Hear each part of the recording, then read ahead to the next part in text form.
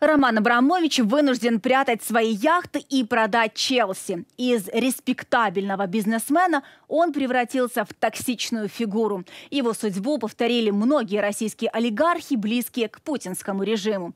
Вечеринки, имиджевые проекты, нефтегазовые миллиарды не спасли от санкций. И это только одна их часть, наиболее видимая. Не так заметно, но гораздо более эффективно – стабильно падение уровня внутреннего валового продукта и полный коллапс военно-промышленного комплекса. Все это только начало действия беспрецедентных санкций в отношении России. Многие западные СМИ все чаще пишут о том, что санкции, введенные против России, больше ощущаются на Западе, и что российская экономика оказалась на удивление устойчивой. Однако такие заявления противоречат действительности, считает группа исследователей Ельского университета США во главе с профессором Джеффри Соненфельдом, опубликовавшая доклад «Уход бизнеса и как санкции калечат российскую экономику». Более тысячи компаний ушли или объявили об уходе из России с февраля, свидетельствуют данные аналитиков. Инвестиции этих компаний составляли более 600 миллиардов долларов, а количество рабочих мест, которые они создали, превышало 5 миллионов. Вот что говорит профессор Джеффри Соненфельд. Чем агрессивнее компания уходила с российского рынка, тем больше она вознаграждалась на Уолл-стрит. То есть уход никак не навредил компаниям и их акционерам, а даже наоборот, приносил прибыль.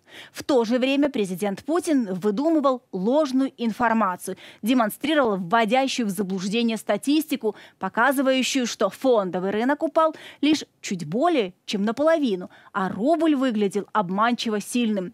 Он таким образом говорил миру, видите, ваши санкции не работают. Но на самом деле он лишь фальсифицировал данные. После военного вторжения России в Украину сообщения в государственных федеральных медиа в один голос трубят неблагоприятных показателей нет. Все отлично. Но команда экспертов Ельского университета использовала данные международных торговых и судоходных партнеров, а также нетрадиционные источники, включая высокочастотные данные о потреблении, кросс-канальные проверки и поиск сложных данных о перевозках. И в итоге опубликовала один из первых комплексных экономических анализов, который измеряет текущую экономическую активность России через пять месяцев после вторжения в Украину.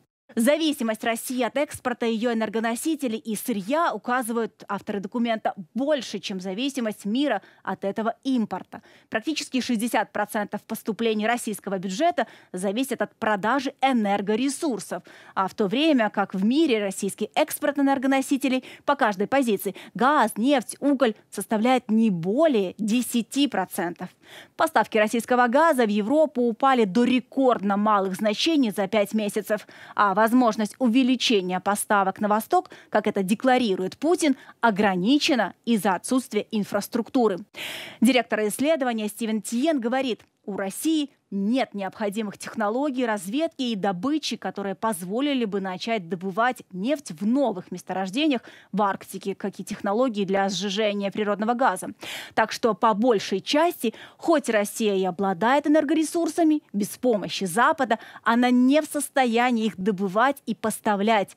Для доставки газа необходимы трубопроводы, поскольку это не жиженный газ. 90% трубопроводов, ведущих из России, ведут в Европу, и только 10% всего один трубопровод ведет в Азию, да и тот еще полностью недостроен. Россия тратит валютные резервы, к которым имеет доступ чрезвычайными темпами. Со времени полномасштабной агрессии резервы уменьшились на 75 миллиардов долларов. Из примерно 600 миллиардов долларов золотовалютных резервов страны почти 300 заблокированы за рубежом. Импортозамещение также не работает, говорят аналитики, указывая, что России пришлось значительно сократить выпуск автомобилей и отменить ряд требований безопасности. Страна теряет доступ к запчастям и высокотехнологичным товарам. Резко, почти на 20% за период с начала агрессии упала розничная торговля и потребление. По мнению Виктора Бабинского, соавтора доклада, в России давно уже исчезла благоприятная среда для бизнеса, а после начала агрессии ситуация стала еще хуже. Российское правительство давно уже уничтожило права собственности в своей стране, Еще в 2003 году Путин начал чистку олигархов с помощью судебной системы и полиции. С тех пор это правительство создало экономику, в которой нет независимого бизнеса. Каждый бизнес должен следовать линии партии, линии правителя. И те компании, которые из чистой жадности предпочли остаться в России, теперь начинают осознавать, что их ставка на не окупилась, поскольку Россия становится еще одним Ираном, изолированным от мировых рынков экономически и политически. Однако с выводами доклада согласны далеко не все эксперты, сообщает «Голос Америки». Так, экономист Bloomberg Александр Исааков обнаружил несколько неточностей. Например, авторы исследования пишут об огромном спаде российской экономики по итогам первого квартала 2022 года, при этом не учитывая сезонный фактор. Показатели первого квартала в России каждый год традиционно значительно хуже предыдущего. Это связано с новогодними праздниками, с холодным климатом и сельскохозяйственным циклом циклом. Если принять во внимание эти данные, то в первом квартале ВВП вырос на полпроцента, а спад начался только во втором квартале, подсчитал Исаков.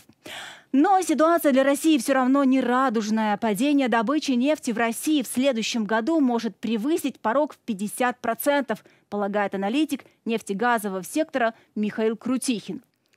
По его мнению, на уровень снижения добычи заметно не повлияет даже то, что объявленная европейская эмбарго, которая вступит в силу в декабре текущего года, будет с изъянами. Аналитик убежден, что Москву в этой ситуации объективно не способны выручить ни Китай, ни Индия, несмотря на то, что Россия торгует с ними черным золотом по сниженным ценам.